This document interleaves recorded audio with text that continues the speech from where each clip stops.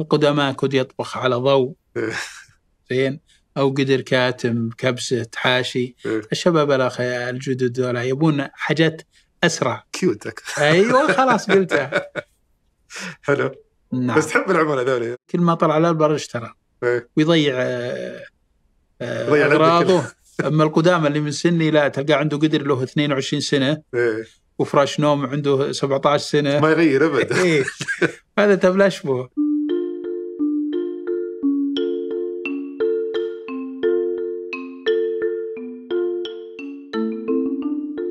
يلا حيهم ضيفنا اليوم عبد الرحمن السنيدي مؤسس سنيدي للرحلات وأتوقع كثير منكم سبق وتعامل مع السنيدي أو المحلات المشابهة بهالفترة من السنة مع الجو الزين والطلعات والكشتات وال hiking وغيره. آه، بنسولف مع ضيفنا اليوم عن عدة أمور تخص هالنوع من ال business مثل كيف تجيهم أفكار المنتجات ويصممونها ويصنعونها بناء على احتياجات الناس، كيف تأثر شغلهم مع اختلاف نوعية العملاء مع الوقت يعني واختلاف اهتماماتهم، مثلا صار في إقبال أكبر من النساء على هالمنتجات ونشاطات جديدة مثل ال hiking والأشياء اللي ذكرتها سابقا، وش وضع ال business باقي السنة إذا صار الجو حار وما يشجع للطلعات. أمور كثيرة بنغطيها في حلقة اليوم نبدأها مع تجربة الضيف السابقه في ال business وكيف تطور سنيدي من محل في بريده لخياطة الخيام ومستلزمات البر إلى بزنس يخدم الناس بمنتجات متنوعة مع قاعدة عملاء كبيرة سواء كان في السعودية أو في الخليج. فأترككم الآن مع الحلقة. حياك الله أبو حمد يا هلا ومرحبا نورتنا اليوم والله. الله يحييك أنا ودي أبدأ معك بسالفة ال- السنيدي طبعا قبل لكن قبلها كلمني منتج حق البرنامج قبل الحلقة يقول اسألوا عن مدير المدرسة ما ادري ما أدري وش اللي صار بينك وبين مدير المدرسة قبل. فضيحه أتمنى إنه مناسب للحلقة. إيه. لكن يبدو لي في رابط وبين البزنس ما أدري وش. إيه هذا طبعا قديم عام 1400 تقريبا و11 حلو. آه كنت شاب وصغير. البزنس عائلي طبعا. والوالد بدي. إيه. نعم. فكنت أجيب بطلع سجل تجاري واجيب عمالة. حلو. ولازم يكون وقتها أن بطاقتك تكون متسبب مم. لأنه في طالب متسبب طالب ما يقدر حلو. فعلشان لازم أجيب ورقة من المدرسة أفصل من المدرسة وأجيب ورقة إني غير طالب فرحت للمدير المدرسة ودخلت عليه فقلت له أبغى ورقة ل... للأحوال المدنية لكي أعدل من طالب إلى متسبب. طالبي المتسبب قال يا وليدي قل وش الورقه تقول إنك يعني ما أنت بطالب؟ إيه ابي ورقة. فجلس قاعد ينصح عن التعليم و... كم كان عمرك؟ عمري يمكن ب 22 أو أقل أو مم. 20 والله في اي ناس مرحلة كانت تقريبا. آه، ثالث ثانوي أو ثاني ثانوي. ما قدر يقنعن. مم. جاي مصر. بالنهاية بعد جلست عنده حدود 40 دقيقة أعطانا الورقة. وعلى طول من المدرسة للأحوال المدنية. طيب. بس انت ما فصلت فعليا كنت في خطاب بس. خطا لا هذا لازم فصل. آه كنت بت- بتطلع خلاص يعني. خلاص إني ليس طالب الحين. حلو. خلاص آه، انتهيت. وتركت. الدراسة وقتها تركتها إيه. حب حب للتجارة.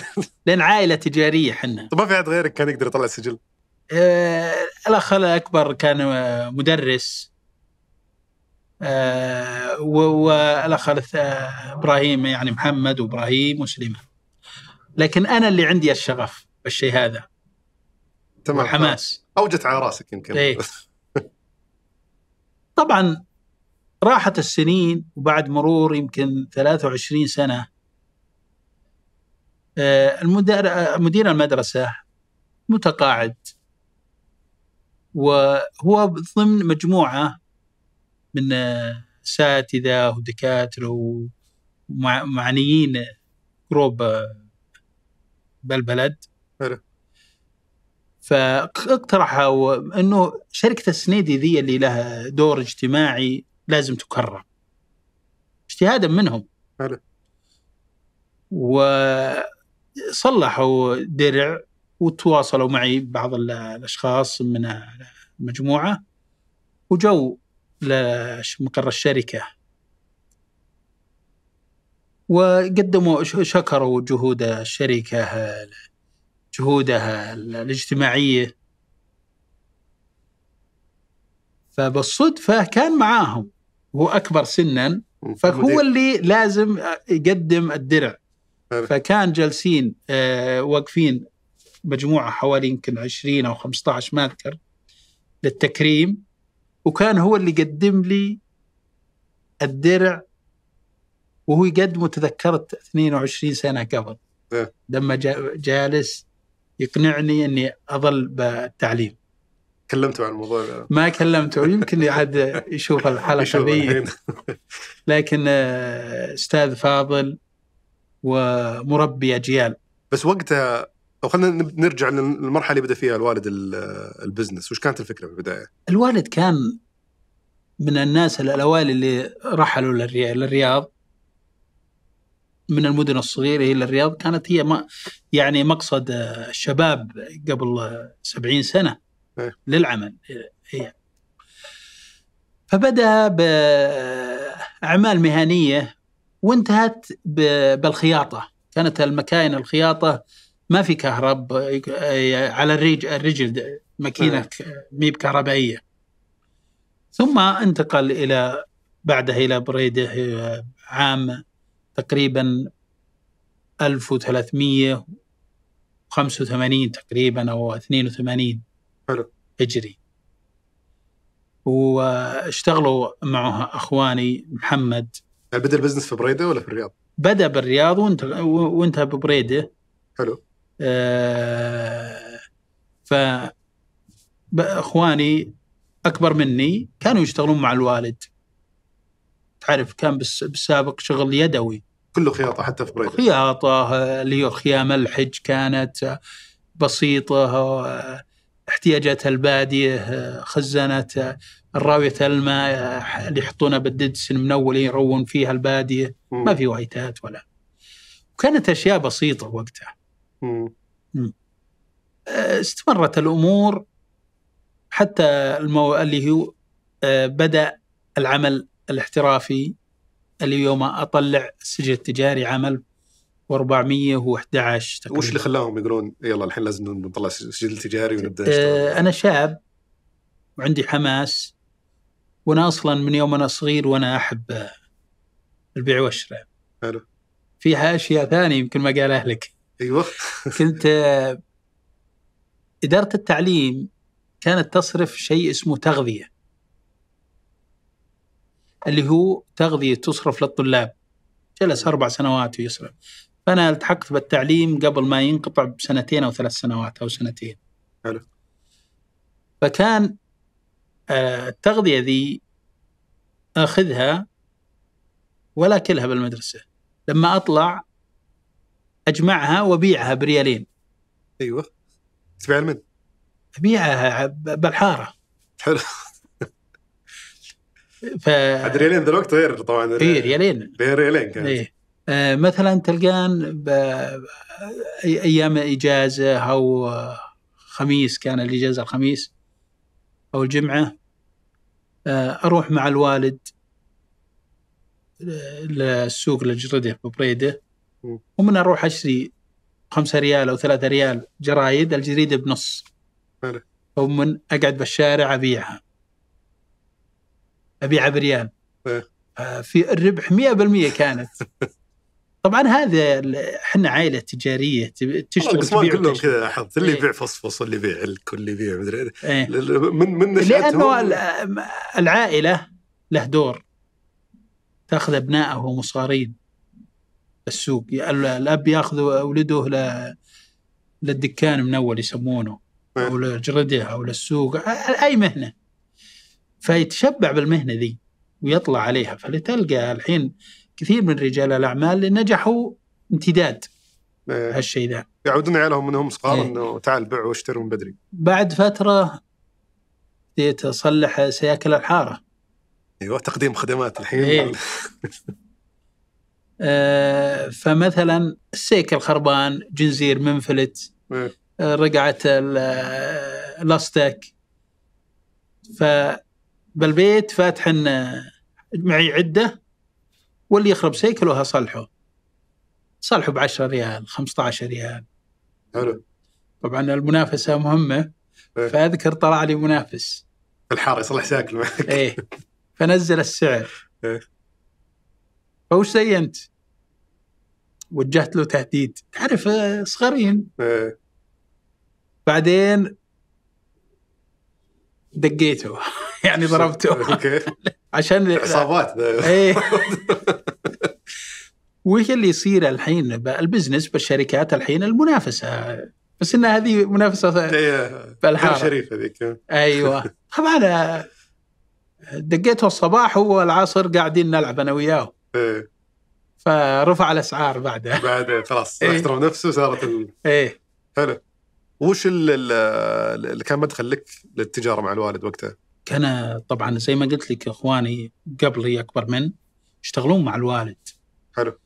ويعرفون ال- ال- المهنة الخياطه و ودخلت معهم على نفس تفصيل الأشرعة اللي... تفصيل ال- السيارات الونيتات ودخلت معهم على نفس الخط هذا اللي إيه،. أنا صغير وقتها داخل معهم إيه. ياخذون المحل وأشتغل معهم بالمحل وش اللي بدأ يشكل شكل السنيد اللي نعرفه اليوم؟ آه تعرف دائما الشاب الصغير عنده حماس أكثر من الكبير م. فكان عندي طموح وطلعت السجل التجاري وجبت عماله واهتميت بالخياطة وبدأ بكرة الإنتاج تتوسع. حلو. طبعا لمين آه، فترة من الفترات آه، آه، صار في طلب على الخياطة بشكل أكبر فاستدعى أن نجيب عمالة أكثر. حلو. وحنا كأخوان نشتغل مع بعض. الوالد عاد. بعدين خلاص خلص شغل من ذلك الوقت يعني من عام 1410 أو قبل مخلينا الشغل. حلو. الله يرحمه ويغفر له إن شاء الله آه، ف بدأت الباكورة تتطور تطوير المنتجات. يعني عام وش خلاكم تقولون بنتخصص الحين بالوزن الرحلات؟ وتصير هذه؟ آه، لأنه مختلف عن اللي كنتوا طلعنا من الخياطة إلى بيوت الشعر وقتها إيه. كانت موضة الناس تحط بيوت شعر إيه. فهي اغتنام الفرص وقتها في البيوت قصدك؟ ب- إيه إيه. بيوت الشعر كانت أول ما بدأت فهي فرص فاغتنام الفرصة بدأنا بعمل بيوت الشعر حلو. وتطور المجال هذا بعدين آه، صار فيه يجي طلبات احتياج للناس اللي تطلع للبر. من أول الواحد اللي يبغى يطلع للبر ياخذ بطانية وفراش ومربوط بحبل إيه. وياخذ أغراضه بكرتون فطلعنا اللي هو الفراش النوم. سليبن باج خياطة محلية قماش ثقيل عن الماء بعده بدينا بالشنط. بدل الواحد ما ياخذ كرتون حصل شنطة قماش. حلو. بعدها بدأت الفكرة كيف إيجاب منتجات آه، تناسب البيئه عام 97 ميلادي. صار عندي طموح. واخواني ما قصروا اعطوني الضوء الأخضر إنك شجعوني. البزنس يعني ولا؟ هي شجعوني بشكل كبير حلو. آه فرحت لأمريكا مع أحد- أحد الزملاء آه كان دارس من هناك درس هناك آه محمد الخميس الله يذكره بالخير آه ف جمعنا داتا لأكثر من يمكن ست شركات أمريكية بعدة ولايا- ولايات والرحلة استمرت أذكر فوق ال 25 يوم أو شهر وش البيانات اللي كنتوا تجمعونها؟ آه، جم- من الملحقية التجارية الأمريكية وش كنت تدور الرياض. عليه؟ إيش اللي تعرف؟ آه، نبي شركات تبيع لوازم من رحلات حلو. لما طلعت هناك جلست مريت كل الشركات تبادر إلى وأنا بالعودة. طبعا تم جلب بعض من شركة من الشركات بضاعة لكنها ما هي مناسبة لبيئتنا. وأنت كنت رايح تدور منتجات لل رايح من بستورد لأنه إحنا مشكلة بلدنا لما جاء النفط بنستطرد بنطلع على الموضوع بزنس عموما. لما جاء النفط استوردنا كل شيء. السعودية استوردت استوردت المهندسين استوردت البضائع استوردت فجبنا ثقافات من برا. صارت هي اللي متاحفنا الحين. إيه. هذه ما لها علاقة لكن نتكلم فيها.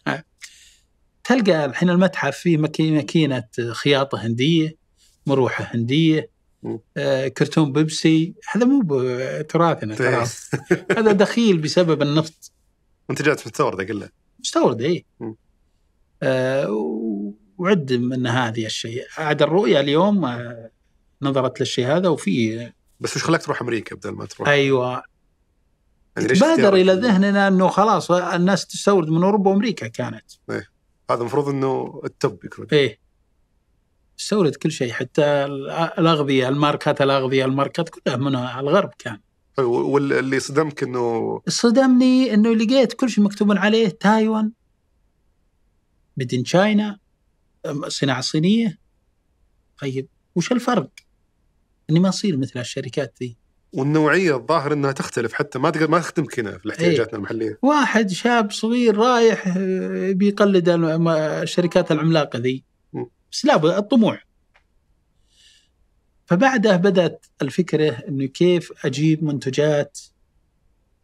لأن جبت المنتجات ذي ما تناسب مع بيئتنا.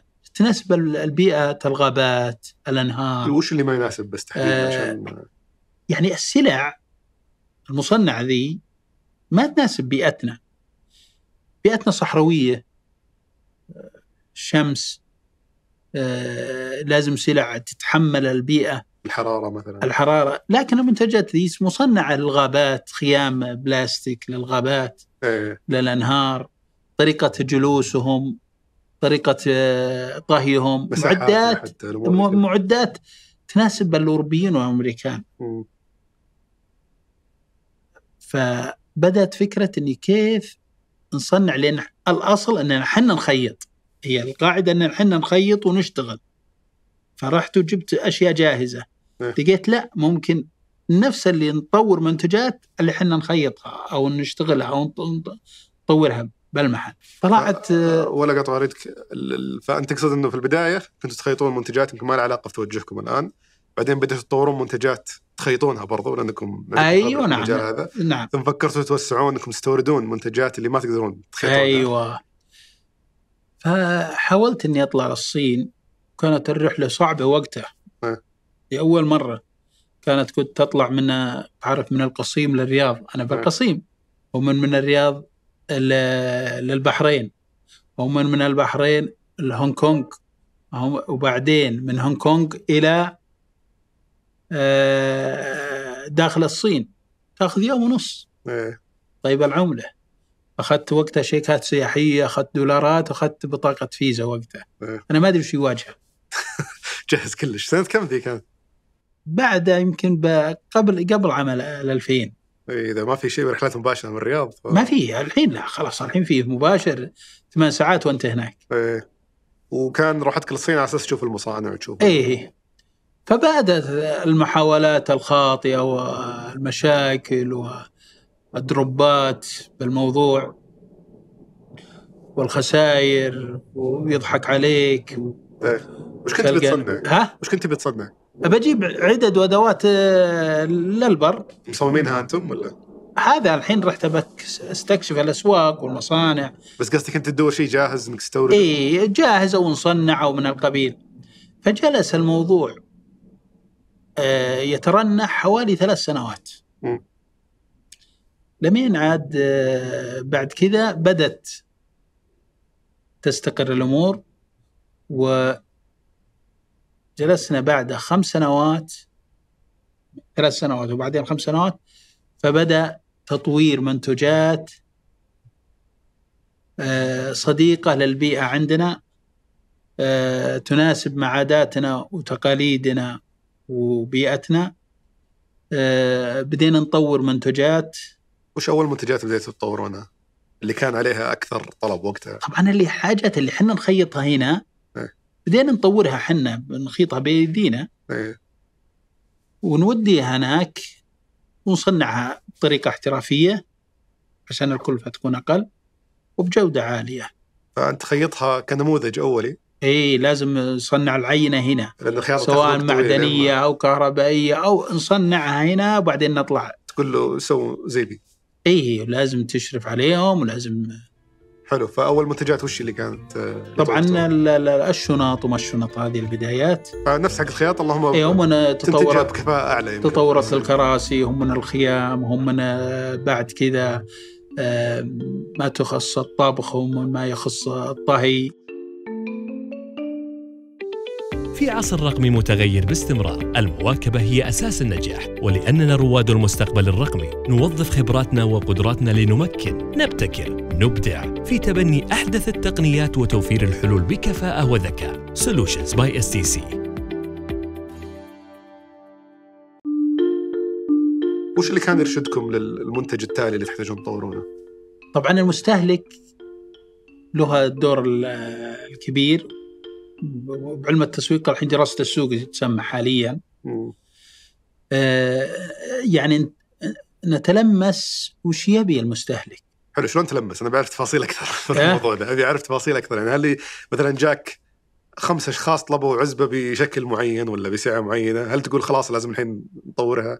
آه، هي؟ هي من جانبين إحنا ك نطلع للبر ونشوف وش احتياجاتنا والمستهلك نفسه لما يجي وياخذ منتج ويجيك يقول لك لا أبغى له تعديل لأن عندنا خياطة وعندنا حدادة وعندنا آه، ترهيم بعض السلع وقته إيه. فالمستهلك يرشدنا آه، فنصل إلى منتجات متطورة للبيئة أو لبيئتنا فتحديدكم للمنتج التالي اللي بتطورونه ومن تجربتكم الشخصية ومن الطلبات اللي تجي من العملاء. أيوه من الطلبات الج... تطور الموضوع إلى أنه يجينا أفكار يعني أو تطوير منتجات من العملاء وناخذها آه، بمقابل م- آه، مبلغ مالي أنا طور. ب- بجي معك على يعني نفصل أكثر في موضوع تطوير المنتجات بس قبلها ودي أعرف. يعني الخط الزمني اللي نكمله بس إلين ما وصلتوا للسنيدي بشكله اليوم. آه هذا الكلام اللي ذكرته رحلتك للصين تطوير منتجات كله كان خلال عملكم في بريدة فقط. نعم إيه. متى توسعتوا وانتقلتوا للرياض؟ بدأت طبعا آه، بدأ الموضوع بيع الجملة أو الم- المحلات. صار بدأت تظهر محلات الرحلات محلات صغيرة آه، لأنه احتياج السوق يتح... يجي آه، يجي ناس يدخلون آه، بيلبي احتياج منطقة مختلفة حلو. مثلا بحايل أو بالرياض أو بالدمام أو مناطق ثانية فيجوا يجوا يجون يأخذون من عندنا إيه. بالكميات. على درزن على نص درزن وقته كميات بسيطة ويفتح الواحد محل ما يكلفه يمكن وقته خمسين ألف ريال يشتري منكم بضاعة ويرجع يبيعها. إيه ويرجع عايد ربح جيد كان وقته إيه. ويتوسع وي... بعض المحلات صارت عملاقة الآن مم. خلال 20 سنة حلو. أه سؤالك أنت تقول كيف طلعتوا من المنطقة يعني وش اللي وش الشيء اللي خلاكم تقررون تطلعون من بريدة وتصيرون متواجدين؟ إيه ال- فعام 2009 بدأت الخروج من المنطقة م. بدينا بالرياض فرع واحد وبعدين فرع ثاني ثم بعد كذا حفر الباطن خميس مشيط وجدة مم. وبالنهاية الآن في متجر إلكتروني حلو. يكون يغطي ال- ال- ال- المنطقة كامل السعودية وما والدول طبعا. مستمرين تبيعون جملة لل طبعا عندنا قطاع جملة. آه هذا ما زال شغال ويخدم العملاء مم. ويعني فيه ما ب... خدمة ما بعد البيع للعملاء من ضمانات مم. من آه اللي ما يمشي عنده يرجع وخلاف وش الآن ال- أنواع المنتجات اللي تطورونها وتبيعونها للناس؟ يعني بناخذها كفئات ولا آه دخلنا بعدة مجالات كثيرة ما هو بس آه يعني ما يخص السيارة وتجهيز السيارة آه، ما يخص ال hiking ما يخص الباربيكيو الآن الشواء ما يخص الطهي ما يخص الغازات وخلافه ما يخص الشنط والخيام الفرش النوم البسط. الكراسي المرتفعة الكراسي ال- الأرضية ما آه، دخلنا ال- بالألوان ألوان إيش؟ بظ- بألوان المنتجات بظل إيه. الرؤية وتوجه الدولة آه، خلال السنوات الماضية تأثير خطى العرب اللي هو برنامج آه، ثقافي من أهم البرامج بالسعودية قدح فكرة آه، دكتور عيد اليحيى أنه ي- يجيب منتجات آه، تكون آه، تحاكي بيئتنا. فجبناها بالمنتجات جيبونا وين؟ جبناها للسوق إيه. زي القط العسيري زي النقش النجدي للمنتجات بالسابق كان يجيك آه، ما يسمونه الغبار نقش موجود من يوغوسلافيا نقش خاص ببيئتهم. فانت قصدك طورتوا التصاميم بحيث تكون التصاميم مستوحاة من. من من الثقافة المحلية اللي هو من آه، تعرف بلدنا مترا- مترامي الأطراف مم. من عسير من آه، نجد من آه، الحجاز وهكذا حلو ال- المنتجات اللي اللي يدخل موقعكم الإلكتروني على سبيل المثال أو يزور محلاتكم المنتجات يبدو لي مهيئة لموسم واحد في السنة فهل أنتم تبيعون على مدى السنة بنفس ال... أتصور الشتاء مثلا أو اذا وقت لا هو تعرف ال- المواسم تختلف لكن آه، كل موسم له معدات معينة. أتصور طبعا الشتاء يمكن أو ال- ال- الوقت ال- خلينا نقول الشتاء والربيع ويمكن عز كان هو ال- الرأس. لكن آه، تنوعت يعني من عندك الجنوب جنوب السعودية مم. مصايفنا آه، تشتغل بالصيف فله معدات خاصة. حلو أنا أنا أبغى أعرف الأشياء هذه اللي, اللي أو خلينا نقول سواء الأحداث أو المناسبات أو ال- ال- الأوقات اللي تبيع لك غير الشتاء. الشتاء ما شاء الله سوقكم ماشي والناس عارفينكم ويجونكم أول بأول يشترون من عندكم. بس بعد ما ينتهي البراد ووقت الكشتات ووقت الطلعات وش تبدأ تبيع بعد الفترة هذه؟ أيوة عندنا السعودية مترامية الأطراف وفيها مختلف التضاريس ومختلف آه، اختلاف الطقس فيشتغل عندنا اللي هو ما يخص الصيف. إيه. الناس تطلع للحدائق أو تطلع للمناطق الباردة بالجنوب حلو. أو طلعاتهم تكون ليلية. فيحتاجون معدات تناسب. الليلية الطلعات الليلية. أنا- بالنهار آه، الجو مشمس وحار. إيه. فالناس تبدأ تطلع بالليل. فله معدات هذه طورنا لها معدات كثيرة. فدائما عندنا تطوير للمعدات اللي تناسب مع المناطق وكذلك تناسب مع الأوقات م. والمواسم موسم الصيف موسم رمضان رمضان يكون له معدات اللي هي الجلسات نعم. الخارجية الاوت دور ما يسمونه م. آه للسمر الناس تجلس بالهواء الطلق فيحتاجون م- جلسات معدات فمتنوعين بالعدد والأدوات بحيث إنه تخدم جميع الشرائح. آه كذلك السيارات احتياج السيارة. سواء بالصيف لا احتياج اللي بيسافرون بالص- بالطرق لهم احتياجات. زي إيش يعني؟ اللي يحتاجون آه، شمسات أو آه، ما- أماكن الأكواب أو آه، غطاء القير يسمى الخروج. أو طبق يسمى الخلف للسيارة مم. شنطة العفش. فيها أكثر أكثر من 500 منتج هذه تخص بس السياره والر- والرحله الصيفيه حلو. فالمنتجات اللي اللي تبيع واللي تمشي تتغير حسب الموسم وحسب الوقت وحسب لازم تتغير حسب الموسم والوقت. وكذلك الافتكار المنتجات مستمر عندنا. كيف يأثر هالموضوع على عملية التصنيع والتسويق والاستيراد وال- والتشغيل بشكل عام عندكم في الشركة؟ يعني هل إنك مثلا تقول إني بصنع من. للشتاء من السنة ال- اللي قبلها وبعدين ببدأ أصنع منتجات الصيف بعدين ببدأ أصنع طبعا آه، يعني اللي يبدأ الابتكار المنتج ومن ثم آه، استخراج العينة الأولى ثم الموافقة هم عاد يبدأ بعد كذا إنتاجه أنا قصدي آه، عشان يمكن ما وضحت سؤالي أتصور المخزون اللي يبيع ما هو بواحد. إنك تضطر تغير في المخزون بشكل مستمر. اي يستمر ما تقدر المخزون تخلي حق الشتاء يقعد معك إلى نهاية السنة. يعني تحتاج طبعا بال- في هي في مشكلة.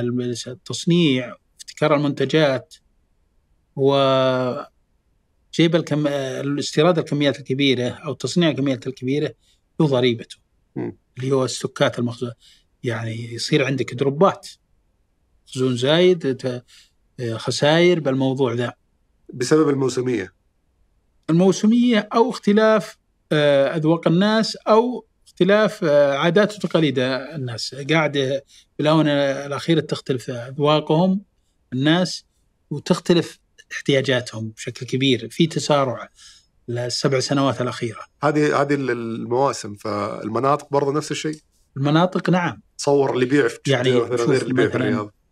المناطق الجنوبية الشمالية فترة آه، فترة البرادة والشتاء والبراد نقول مدة طويلة. مم. القريات أو سكاكا أو عرعر أو تبوك.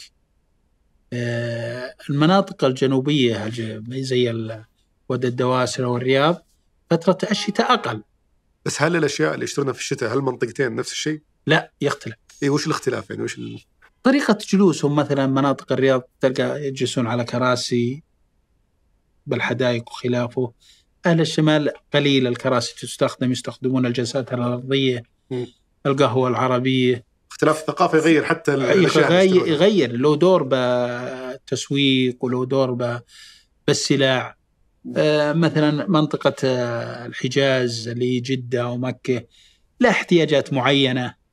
آه، من الطائف الأبها الخميس لها احتياجات معينة. فنحاول نتلمس احتياجات جميع المناطق بالسعودية كذلك دول الخليج. لها احتياجات معينة ومنتجاتنا تناسب مع كل المناطق ليس منطقة واحدة فقط آه، ممكن تستخدم دول الخليج أو الدول العربية كذلك أنتم لكم تواجد في دول الخليج حاليا ولا؟ نعم فيه عدة عملاء بدول الخليج قصدك تبيع و... للشركات وعندنا؟ كذلك عملاء أو مرتادين من دول الخليج. يجون آه، بسياراتهم آه، يعني يتسوقوا هنا حلو سواء فروع الرياض أو الحفار أو أي منطقة ذكرت قبل شوي الناس تغيروا فوش التغير اللي لاحظته في السنوات الماضية في. في. في العميل اللي يشكل طبعاً. النسبة الاكبر من المبيعات أيوة العميل يختلف لأنه ط- جاء جي طلع جيل جديد ثقافته مختلفة عن اللي الأجيال السابقة اللي من سني إيه. احتياجنا إحنا من سني وحواليه مختلف عن جيل الشباب اللي طلع برا ودرس برا أو آه، يعمل الحين بشركات إيه. آه، استخدم التقنية آه، صارت يختلف طريقة طهي يبي ال- ال- الشواء الحين القدماء كنت يطبخ على ضوء إيه. زين أو قدر كاتم كبسة حاشي إيه. الشباب الأخ الجدد دول يبون حاجات أسرع. cute. أيوة خلاص قلتها. حلو. نعم. بس تحب العملاء ذولي قاعد نسال قبل قبل شوي إيه العميل. العميل ذا هو اللي من أحسن شيء. طلع لك فلوس واجد. هذا ياخذ يشتري كل ما طلع على البر اشترى. إيه. ويضيع آه، يضيع أغراضه. أما القدامى اللي من سني لا تلقى عنده قدر له 22 سنة. إيه. وفراش نوم عنده 17 سنة. ما يغير أبد. إيه. هذا تبلاش به إيه. فلازم نسكت لا صار عميلنا كذا فنشوف النسبة عندنا- الأكبر بدأوا هم اللي إيه إيه عندنا ال- ال- الشباب المستهلك. هم اللي صاروا يشكلون النسبة الأكبر الآن؟ اي شكلونه اللي ما شاء الله كل شتاء. والعوائل له دور الآن تعرف حدائق وخلافه النساء كيف؟ النساء لها دور جيد حكم الحدائق وطلعتها. الاستراحات صار في ال hiking الحين. ال hiking في التغير ذا جعل فيه استهلاك مختلف عن السابق. يعني تشوفون الترندات الجديدة ذي حقت ال hiking والطلعات وما إلى ذلك؟ إي مع- التوجه الجديد لكم عملاء جدد وثقافة المشي هذه والرياضة له دور باختلاف المستهلك على السوق. ال- قاعد السوق كله سواء عندنا أو بالسوق كله عموما. مم. قاعد يختلف. وتطوير المنتجات طورتوا شيء للنساء. طبعاً يعني ضروري. مسوق لهم. ضروري. طلبات النساء لها احتياجات. ألوان خاصة مثلا أو احتياج خاص أو آه، يكون آه، آه، تطوير منتجات معينة. مم. فناخذه وش بالاعتبار في في في بالك مثال على منتج معين يناسب النساء أكثر من الرجال للرحلات أو لل دائما المرأة تبي الحاجة الخفيفة الشنطه الصغيره اللي بها بريق ملون ودلة ملونة شيء يواجه وعقد لمبات رومانسي إيه. وجلسة خفيفة. لأن المرأة تبي حاجة رومانسية. ألطف يعني تكون أي من متطلبات أما الرجل. ال- الرجل لا أخشن شوي فله معدات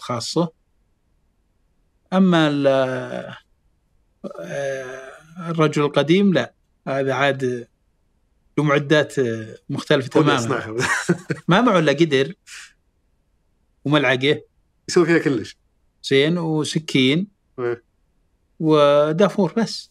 هذا اللي ما تبي والقدر يحط بكل شيء جميع ويطبخ على طول. أنت تبي تبيع عليه 20 شغلة عشان ي... هذا ما نستفيد منه. كل شيء له استخدام. إيه. أما الشباب الأخير يجي يشتري خ- 20 قطعة. إيه. ولا يستخدم إلا خمس قطع ما يعرف يستخدم الباقيات. مبسوط عليهم بس تسويقيا من تستهدف على كذا؟ يعني تبدأ تستهدف الناس ال- الشباب أكثر من إنك تستهدف الناس هو المتمرسين في الاستهداف ال- عام عموما سواء آه، آه، كبار آه، جميع الشرائح تستهدف. تسويق ويركز على الاحتياجات. السوق هو اللي يحدد. السوق هو اللي يتحكم فيك وليس أنت اللي تتحكم فيه. فاحنا نتبع توجه المستهلك. حلو. ال- ال- ودي ارجع نقطه الإجراءات حقت التصنيع. الآن جت بالكم فكرة منتج معين ايا كان المنتج هذا. ممكن تضرب لي مثال على منتج من بدايته إلى إلى ما إلى ما استوردتوه فوش ال... مثلا عندك. مشكلتنا مثلا الناس تعاني من مشكلة البيالات شلون يحفظها وتكسر و... حلو. فسوينا لها آه، إجرابات معينة. لحفظ الكاسات. مين يصممها هذه عندكم؟ عندنا فريق الآن للتصميم. حلو. ف إيه. تعطونهم بس الفكرة تقول من يحفظ إيه البيانات إيه و- وأغلب الشيء م- حنا كعائلة واخواني عندهم خبرة كبيرة. آه، قاعدين حنا ب- ما زلنا المطبخ الداخلي عندنا. حلو. بعد ما تخلصون التصميم ترسلونه للمصنع ي- اي يصنع ثم تستوردونه. أيوه نعم. وكيف تأكدون إنه آه، فعلا الشيء اللي صممتوه هو الشيء ال- ال- المناسب للناس؟ هل فقط عن من خلال المبيعات ولا في لا لا لابد يختبر المنتج. وتهتم بالجودة. اليوم أهم شيء الجودة جودة المنتج وخدمة العميل ما بعد البيع. هذه مهمة جدا. بس كيف تسمع منه بعد ما تبيع له؟ ها؟ يعني جبت منتج الآن مشى منه كميات بس ما تدري وش رأي الناس فيه. فشلون تبدأ تتجمع الآراء؟ هذه على أساس تطور مثلا الموسم اللي بعده. من خلال الفروع من خلال التعليقات بالتواصل الاجتماعي من خلال آه، استقصاء منتج مع الجمهور. هذه كلها عوامل وش أبرز المشاكل اللي طحت فيها في التصنيع؟ سواء في التصميم أو التصنيع. يعني تصمم من- منتج تعتقد إنه ممكن يلاقي رواج. تجد إنه آه، ما عليه رواج وش كان الخطأ تحديدا فيه؟ يعني هذه ما تقدر تحكمها هي قبول المستهلك له. تطوير المنتجات يعني إذا طورنا مثلا 100 منتج ينجح 90 منتج أو 80 منتج عندك 20 هذه ربما تفشل بس هل هل معناتها إنه سنويا على سبيل المثال في نسبة منتجات ثابتة دائما تفشل عندكم؟ ضروري آه، إذا كنت بتقود السوق تقود لازم يصير عندك فشل. وأتوقع العكس إنه ممكن أنت صممت منتج تتوقع إنه بيكون شيء جانبي وضرب معك بشكل غير وفي منتجات آه، آه، بس إذا حققت نسبة 80% ممتاز. 90% نجاح من المنتجات. بس أنت ما تكون حاسب حسابك يعني ماليا من قبل إنه هذه النسبة ترى. يعني غالبا بتفشل خلال السنة الجاية؟ ضروري. إذا كنت إذا كنت يعني؟ زي ما قلت لك بتقود السوق وبت بتكون أنت المفتكر بالسوق للمنتجات. والسوق يعني أصلا لا يوجد له تجربة سابقة. ما هو والله في سلع مجيوبة من برا وتقلد عليها. يعني زي المنتجات اللي تجاب الكهربائية تجاب من أوروبا وكذا تروح تقلد عليها لا مم. منتجات الشركة عندنا كلها آه، مفتكره فهذه له ضريبته وش اللي يخليك ما تبغى تصير وكيل شركات أو تستو- تستورد منتجات جاهزة؟ آه، اغلب يعني تكون في أشياء مناسبة لبيئتنا وأشياء تدور تكون تحت رحمة الشركات هذه. م. آه، فلا أنا أكون آه، أنا ال brand. شو لو أنا أروح أسوق ال brand؟ أصنع brand. والحين نشوف ما شاء الله آه، صنع صناعة brand بالتغذية عندنا شركات عملاقة. في- زي هيرفي أو كودو أو خلافه. أو كيان أو مج- مجموعة آه، علامات آه، محلية نجحت فقط العشرات أو المئات الآن. جميع المجالات. لين نظل نستهلك براندات عالمية؟ ليه ما نصدر إحنا براندات؟ بالضبط أنا كنت بسألك على التصدير هل اشتغلتوا على الموضوع هذا ولا؟ انكم تصدرون منتجات إلى خارج إي السعودية؟ في فيه عدة آه، منتجات منتجاتنا مقبول مطلوبة لدول الخليج وبعض الدول العربية. بس أنا فهمت تبيعوا الافراد مثلا في دول الخليج ما تبيعون ال... لا، في-. تواجد رسمي بال... لا في لا أفراد نعم موزعين. فأنت دول تبيع الخليج تمام فأنت تبيعها تصدر الموزعين؟ موزع اللي هم بالإمارات آه، بدبي أو أبو ظبي أو بالعين شركات. آه، شركات تتوزع تبيع. تعيد البيع فيتستورد من السنيدي وتبيع نعم، إيه. أنت توقعت إنه عملاء يطلبون من المتجر الالكتروني وتوصل لهم فيه عملاء يطلبون متجور ما- أو يأتون للفروع. لأن تعرف آه، الرؤية صارت السعودية مقصد سياحي لدول الخليج صح. فتجد العمانيين. والإماراتيين والحين بدينا نشوفهم كثرة بالسعودية فصار فيه آه، يعني إعادة بيع عليهم هذول وش غير لكم المتجر الإلكتروني في. في البزنس؟ لأن أنت قلت لي إنه بدأ مؤخرا بدينا مؤخرا وفي فيه؟ شريحة تحتاج تبي الخدمة ذي إيه. وفي شريحة لا يحب إنه يجي يتسوق يشوف القطعة يمسكها أنا كذا أحس ذهنيا مرتبط إيه، عندي الموضوع أيوة. اني لازم أجي أعاين بس في شريحة يحب إنه يشتري من الموقع هل في شريحة معينة هي لا الأغلبية يحبوا التسوق زي سلعنا يحب الزبون يجي يتسوق ويجي يناظر القطعة جزء من التجربة كذا من. التجربة. مين منتج والله معروف على طول يشتريه يعرفه سابقا مم. آه، زي الوجبات أو السلعة الأخرى الأخرى اللي معروفة مسبقا سلعة غريبة ما تتشافى فكيف يطلبها من الموقع؟ بس لاحظت نوع معين من العملاء اللي يتوجه الموقع غالبا سواء كان بالمناطق لا يكون اللي. يطلب دائما هو اللي يعرف المنتج أو عميل أصلا للمحل العملاء المتكررين هم اللي المتكررين هو اللي يطلب اللي يضيعون زين فهو عارف وش يبغى. اللي يضيعون أغراضهم كل سنة يرجعون آه عندكم برضه تجارب بالتصنيع المحلي غير اللي تصنعونه برا؟ نعم. وش بالضبط تسوون؟ طبعا آه، ظلينا نصنع محليا بعض المنتجات.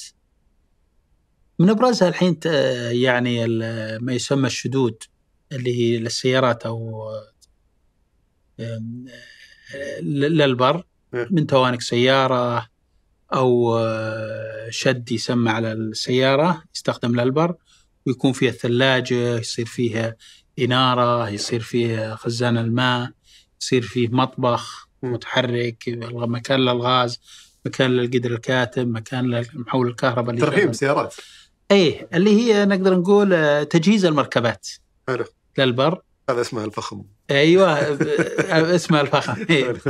تجهيز السيارات.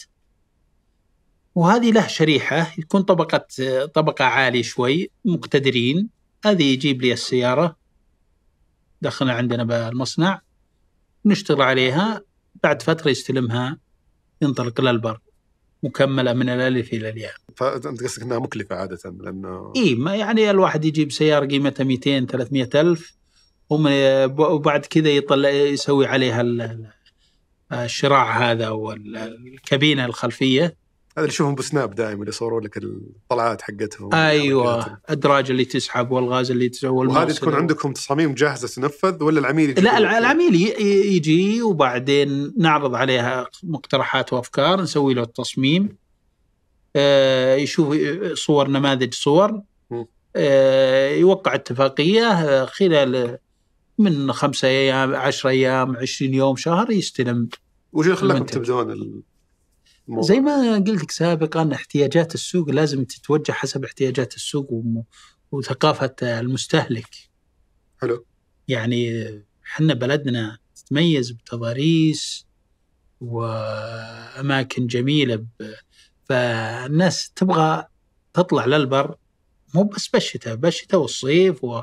وجميع المواسم وبحكم اتساع رقعة السعودية فالناس تحتاج السفر من منطقة لمنطقة اكتشاف مواقع أثرية أو آه، متنزهات أو فيحتاجون تجهيز المركبة هذه للمعدة بطريقة آه، تخلي آه، تريحوا بالرحلة. من تطور البناء إلى أناقة التصميم ورفاهية الخدمات مع تميز الموقع. حلول سكنية مبتكرة ومستدامة مع شركة صفا للاستثمار المزيد في وصف الحلقة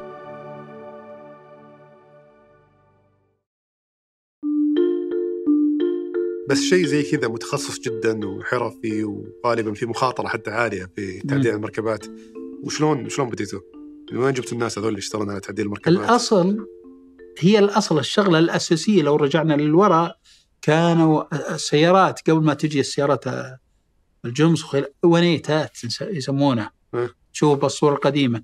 تلقى ونيت عليه إشراع من الخلف اللي كانوا يروحوا يودون الطلاب وقتها للمدارس أو الركاب أو للحج. لو شفت صور للحج قديمة تبي تشوف ال- ال- ال- الفروت القديمة عليها إشراع من الخلف. بس أشياء بسيطة. إيه هذا هي منطلقها. إيه. فتطورت إلى ما يسمونه العقرب آه، الشد السيارة. هم من عاد آه، بعد كذا آه، التطور مستمر عليها مستمر لا يقف. وهذا بظل المنافسة وتطوير المنتجات تلقى التطور مستمر هذا. لو بناخذ تشكيلة الفريق اللي يشتغلون على تعديل سياره تصور يمكن في حداد على سبيل المثال في مصمم يمكن. في مصمم في حداد في خياط في كهربائي آه، هذه كلها لازم يكون عندك فريق متكامل.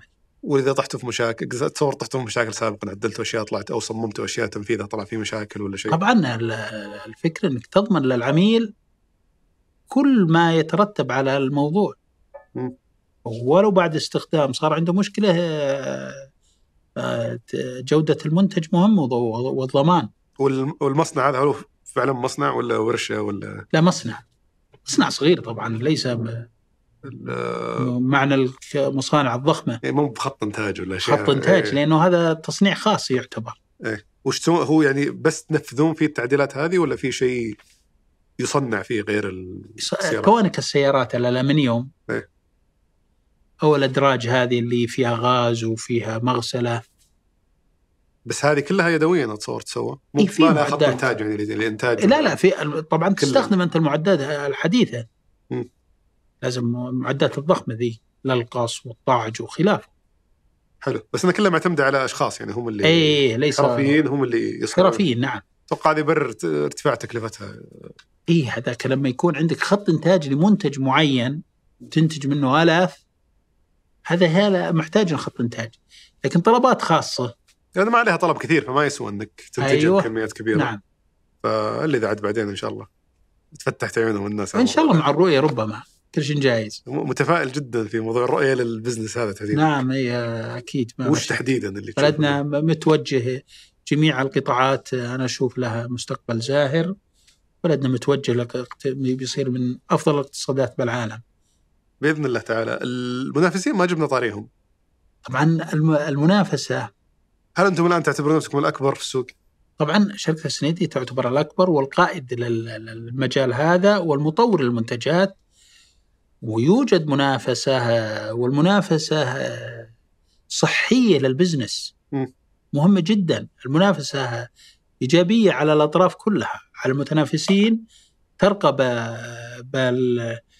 بخدمة العميل ترقى بالمنتج ترقى بتطوير المنتجات فتحصل السوق السعودي بسبب المنافسة صارت قيادة ب- وفي مجال بالبزنس هذا. متخصص زيكم يمكن ما يحتكون فيه عامة الناس. أتصور حتى يساعدونكم تجيبون عملاء إيه. إذا هو كسب عميل وما رضى من خدمته مثلا بيتوجه غالبا لكم بعد. لا هي شوف ال- ال- التنافس يخلق سوق مم. زيادة استهلاك فالجميع يستفيد.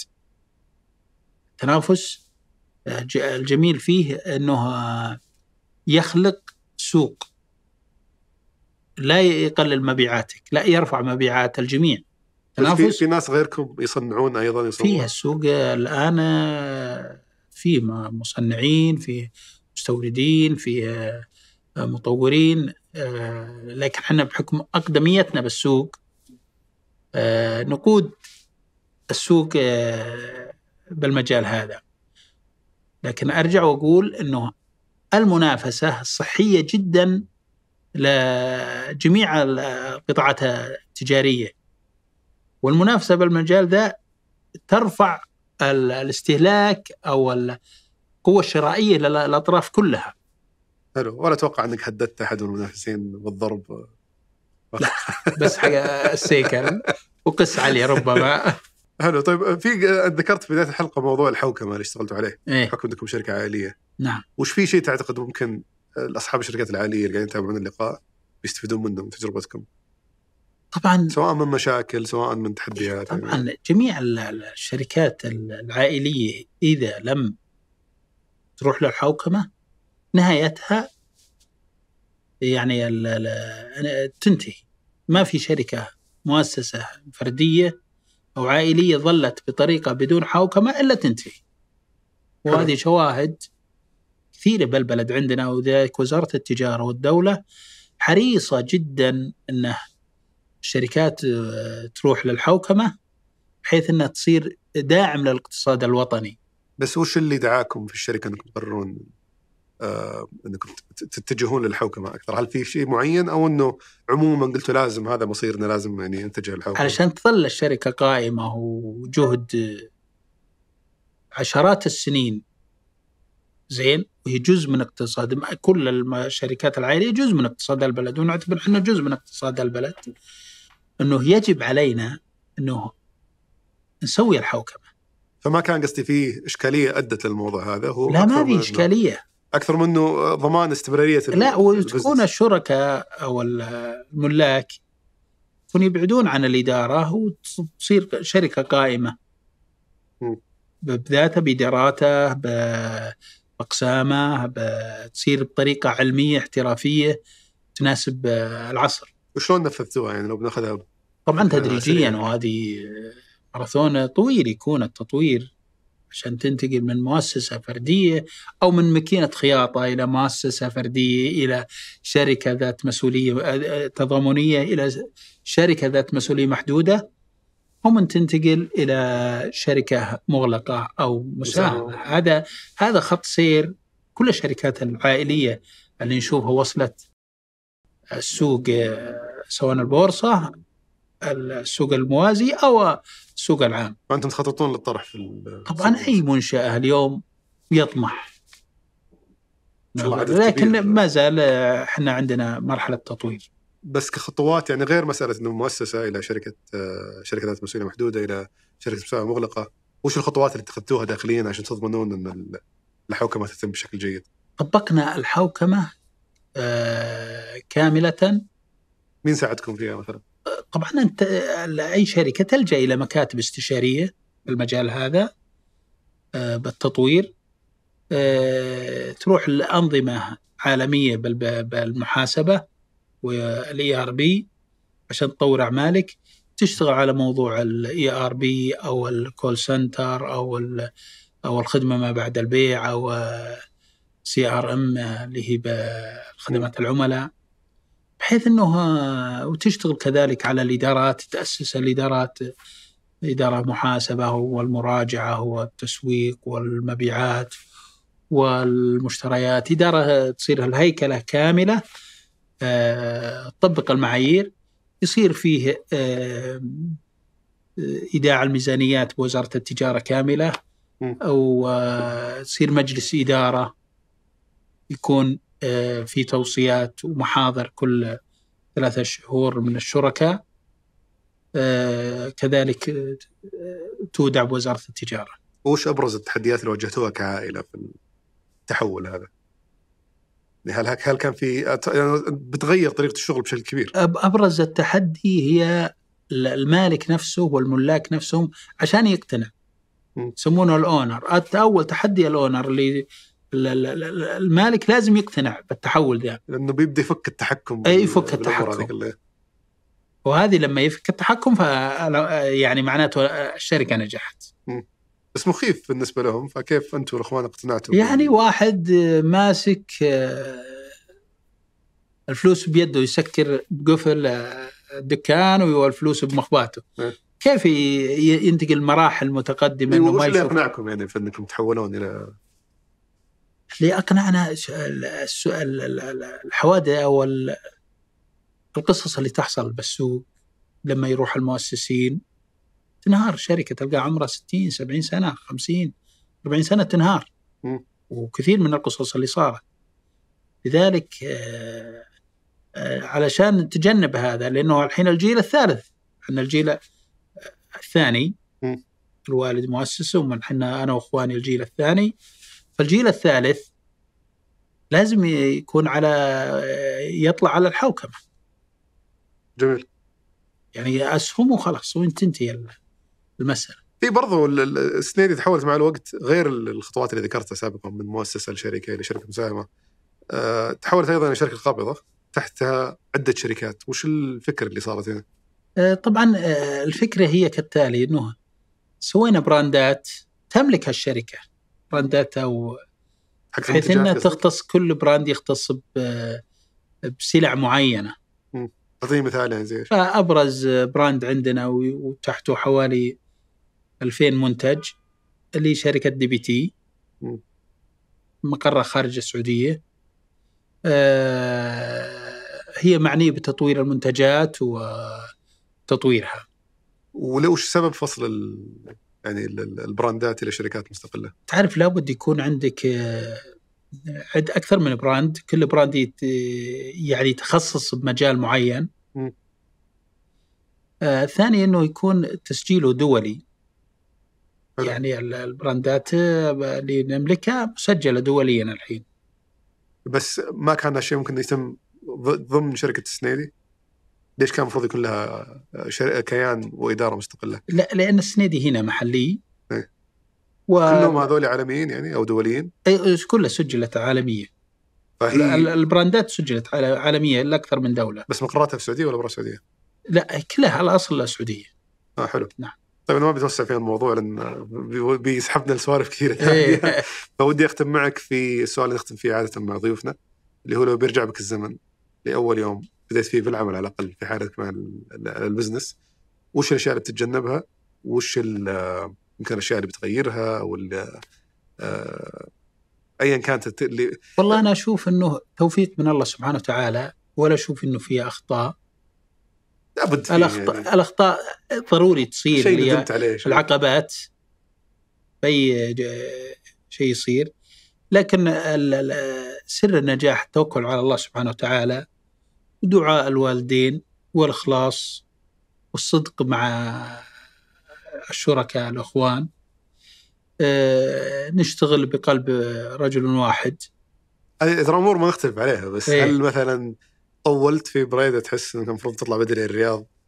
ولا مثلا في مشاكل معينة في التصنيع والتطوير تمنيت إنك ما أتكلم إنه تحسف عليها كثر ما إنه تقول والله لو رجع بالزمن بنفس المعلومات وبنفس الخبرة هذه الأشياء اللي بسويها بشكل مختلف. هي ال- ال- ال- الحاجة الوحيدة إنه التأخر بالحوكمة. وش كان أثرها؟ لأن الحوكمة تنطلق من بعده تصير سهله الإدارة وال- والشغل. فكان قبلها الموضوع مرتبط فيكم كإخوان فهذا مرت- مرتبط بإدارة معينة ب...